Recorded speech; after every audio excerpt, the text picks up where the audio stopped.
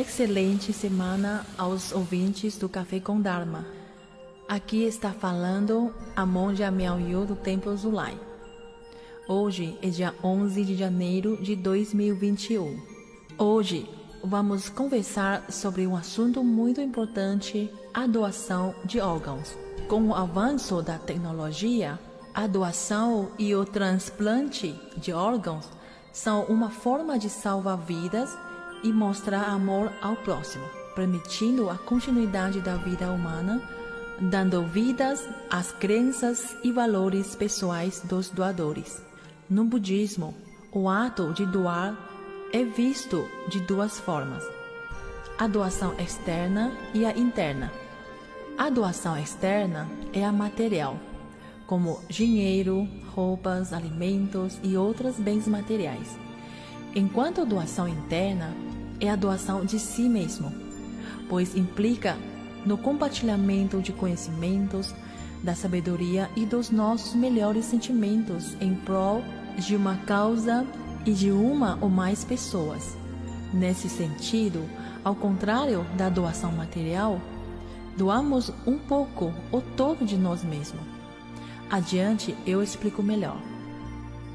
Doar um pouco de si mesmo vai além de doar seu tempo, talento e sentimentos. Isso pode envolver até mesmo a doação de partes de nosso corpo, como sangue, cabelos, peles e órgãos.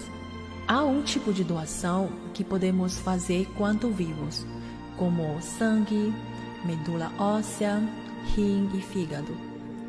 Entretanto, há outro tipo de doação pessoal que pode ser realizado através de um doador quando falecido, com morte encefálica constatada. Nesse caso, o coração pode ser doado. Existem também a doação de córneas, fígados e pulmão, tanto de vivos como de falecidos. Há relatos de muitas pessoas que doaram seu corpo após morte para a área médica ou ciência a fim de ajudar na pesquisa do tratamento de doenças específicas.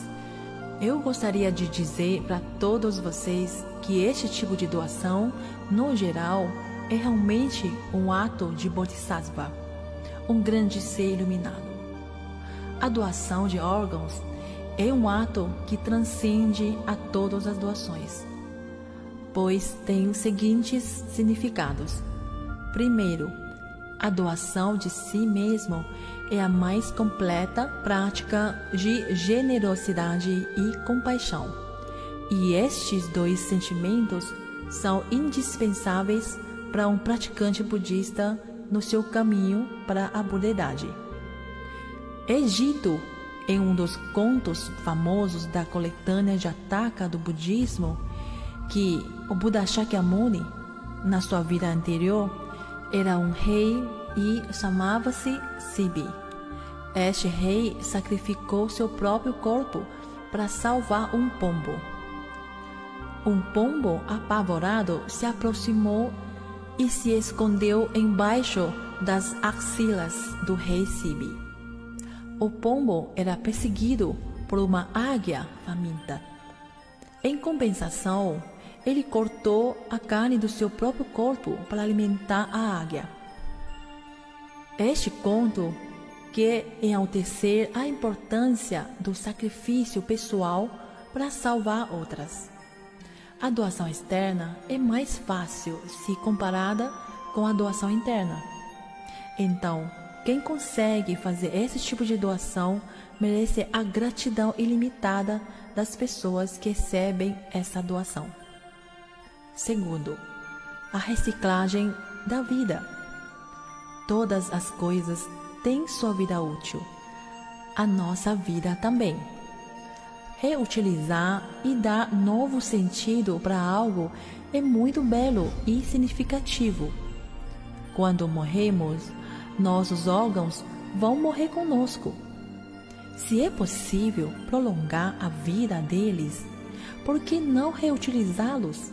O valor do corpo e dos órgãos de uma pessoa está na sua utilidade. Os olhos foram feitos para enxergar, o coração para bombear sangue, o sangue para manter os demais órgãos, os rins para filtrar sangue e etc. Se uma pessoa morreu, então estes órgãos não servem mais para ela, mas podem ter utilidade para alguém. Então, por que não ceder? O valor da vida não é calculado pelo tempo que vivemos.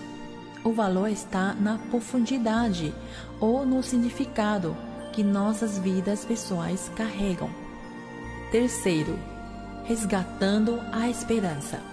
Quando nosso tempo de vida chegar ao fim, nossos órgãos serão inúteis para nós mesmos. Não viveremos mais, não teremos necessidade de nenhum deles e eles se desmancharão. Mas alguns desses órgãos ainda podem ser úteis para pessoas que estão na fila de transplantes. Agora eu vou compartilhar alguns dados com vocês.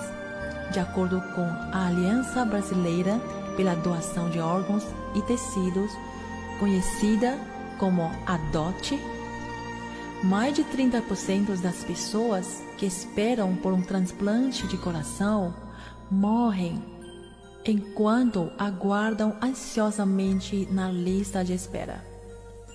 Por que não dá esperança para elas? A doação de córneas traz luz para outros. A doação de sangue, rim e etc. renovam a vida de outros, que também estão em uma lista de espera.